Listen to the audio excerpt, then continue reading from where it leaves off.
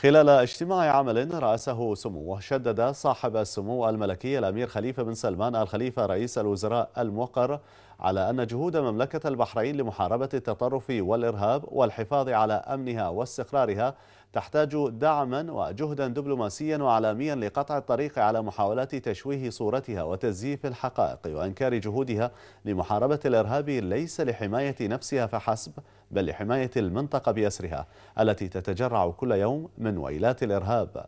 موجها سموه بأن يتم تكثيف التواصل مع العالم لبيان ما تتعرض له مملكة البحرين من خطر إرهابي جسيم. لا يمكن تجاهله لأن خطره يتجاوز المحيط المحلي إلى الإقليمي. وخلال الاجتماع أكد صاحب السمو الملكي رئيس الوزراء أن مملكة البحرين تعمل في إطار دولي لمحاربة الإرهاب وأن ما تتخذه من إجراءات لسد أي ثغرة تفتح المجال أمام التدخلات الخارجية الهادفة لنشر الفوضى والإرهاب تأتي في سياق الإجراءات المتخذة في كافة الدول التي تتعرض للحد الأدنى مما تتعرض له البحرين. فلا تقبل أي حكومة في العالم إرهاب شعبها أو تعريض سلامته للخطر كما لا يمكن السكوت عمن ارتهن بتبعيته السياسية والفكرية للخارج عندما لا يريد الخير للوطن. مشددا سموه على أن أمن البحرين يأتي أولا وبعده تأتي الأمور الأخرى. وإننا دولة قانون ومؤسسات ويجب أن تنطلق الجهات المختصة بالتواصل مع الأشقاء والأصدقاء على كافة المستويات ليعي الجميع بأننا نحارب أفعالا لا أشخاصا ونطبق قانونا لا أحد فوقه وسيادته على الجميع.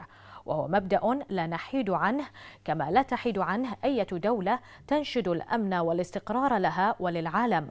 وعلى الرغم من جسامة التهديد والخطر الذي يتعرض له أمن الوطن إلا أن الحكومة حرصت أن تكون الإجراءات المتخذة في إطار الدستور والقانون.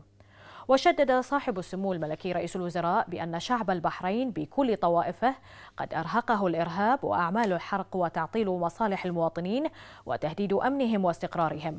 ومن حق هذا الشعب على حكومته أن توفر له الأمن والأمان والطمأنينة وأن يكون آمنا على نفسه وممتلكاته.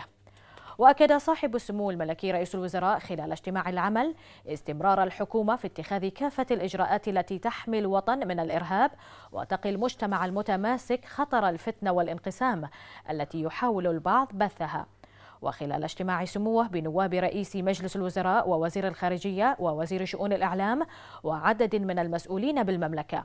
وجه صاحب السمو الملكي رئيس الوزراء إلى أهمية التحرك بوتيرة أسرع لوقف الداعمين للإرهاب والمحرضين على القانون والمحرضين على الخروج عن القانون والنظام ومن يحاولون تشويه الحقوق والديمقراطية المتطورة في مملكة البحرين.